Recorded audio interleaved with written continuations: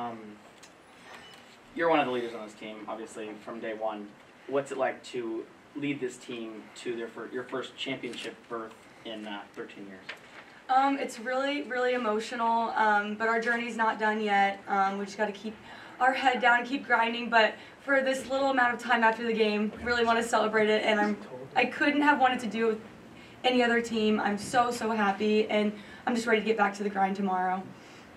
You guys did so many things well tonight, so many things that you know really led to the win defensively. You know, really sound again, especially from you.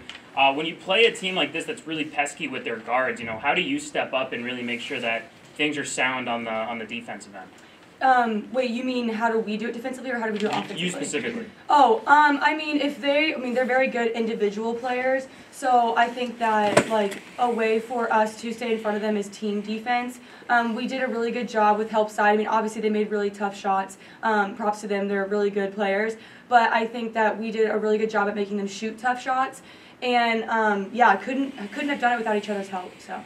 So they never led. So you guys quite you had control of the game at least on the scoreboard from from opening tip till that final buzzer. But when they're taking quick shots in the shot clock and you know they're making a six point lead down to a two point lead, they're chipping away and they're kind of maybe throwing you off your rhythm a little bit. How are you guys able to kind of go back offensively and maintain control of the game, not get too rushed when they're taking these quick shots? Yeah, um, I think something that our team has really learned about like the game of basketball as we've gained experience in these tough situations is that other teams they're good too and they're going to go on runs. And so when they do that we can't lose our cool because it's normal like that's what happens in basketball. So i think just you know being patient and letting our time come and not like pressing too much offensively to try and get it all back. Um, i think we just really stayed calm. Like every single time our team huddled up we're like we're fine. We're good. Just got to take a deep breath and next play. So i think just staying calm in really really um, high stressful situations is key took a couple of threes early in the game. Obviously, first you didn't fall, but you were able to get one to go down. Is that something that you're continuing to work on? Like, you know, maybe get a couple of threes early in the game and then focus on your bread and butter late in the game when you know you need guaranteed buckets?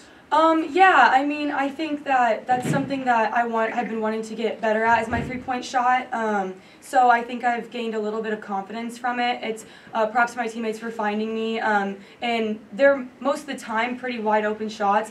But for the most part, I'm just trying to get inside, and when I'm feeling confident in those shots, I'll shoot them. But it's not something that I'm going to force because you know we have really good shooters on our team, so I want to get them get the ball to them too. We've been tracking kind of over the course of the season. You guys have really, really good defensive games and really, really good offensive games, and they haven't really gone together a lot. Today, they seem to it seemed to go together in, in a lot of the sense. But you guys had four players, including yourself, shoot over 10 points, shoot double digits. Just like how is that to have that kind of uh, help from from all of all of your teammates? Yeah, I mean to tie it all together and to have a really good defensive and offensive game is huge, and obviously it'll it'll turn out in a win and it'll turn in our favor. And I'm just really proud of our locked in um, focus on defense and offense. We were executing our plays, we were executing our scout defensively, and couldn't have asked for a better job with my teammates.